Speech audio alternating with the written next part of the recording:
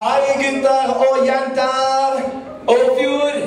Vi, vi er fire gutter. Vi kommer rett fra Bergen. Nei, vi kommer ikke fra Bergen. Vi kommer fra Oslo. Jeg er født i Trondheim.